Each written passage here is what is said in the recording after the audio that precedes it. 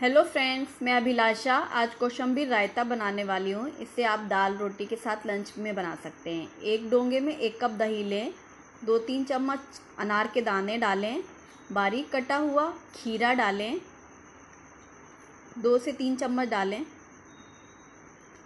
आधा कप करीब गाजर कसी हुई डालें। गाजर कस के डालेंगे तो अच्छा है। बारीक कटा हुआ हरा धनिया डालें, दो चम्मच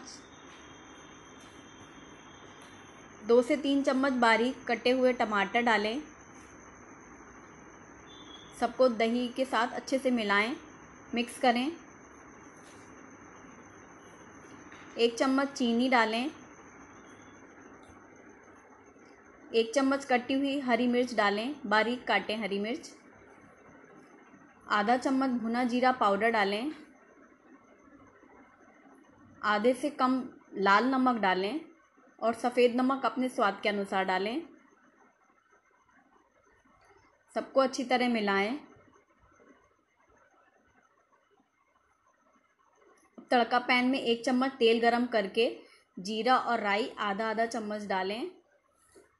एक चुटकी हींग डालें।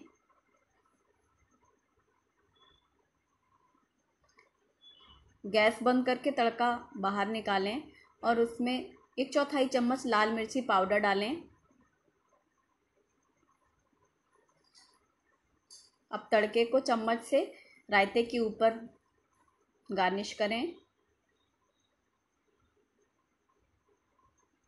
सबको मिक्स कर दें। और अब आपका